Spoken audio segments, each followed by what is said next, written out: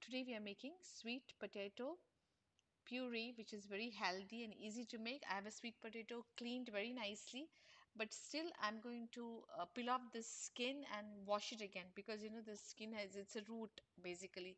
So the skin has a lot of mud. So I've peeled it off. And I'm going to chop it into pieces and those uh, skin and everything I'm going to use it for my compost wash it very nicely rinse it with water unless it's clean and you have to be very careful especially with the baby food there should not be any mud or soil to this.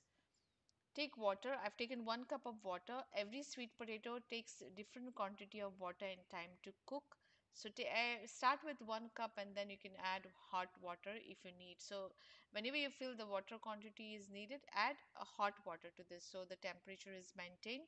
I'm going to cover it. Mm, make sure your pot is deep enough so it doesn't overflow. It's not cooked yet so i've cooked for another like 7 to 8 minutes. It will take more time another 5 minutes.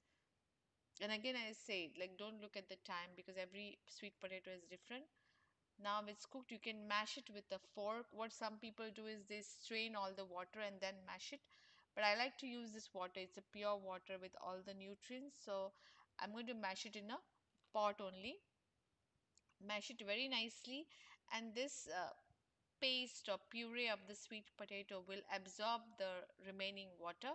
So now i'm going to put a put the gas flame on very low and cover it and cook for another two minutes.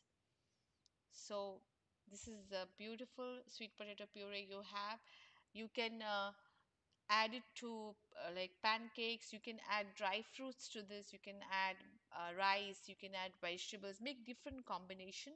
So this is a basic puree a sweet potato puree and you can add it to different uh, vegetables and rice. Uh, if you want to store it in the refrigerator make sure it's completely cooled down and you can put it in a, a plastic container or ziploc bag but make sure it's cooled down. Have a blessed day